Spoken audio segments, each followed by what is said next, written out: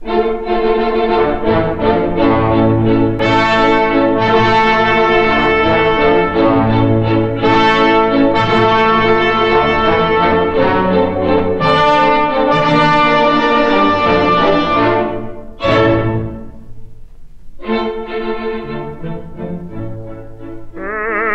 tu, che m'ha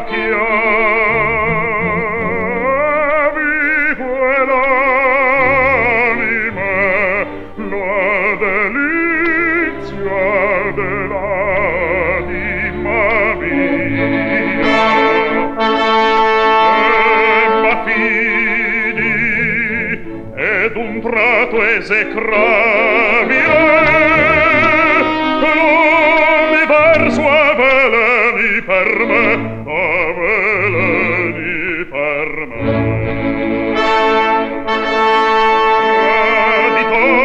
traditor che compensi te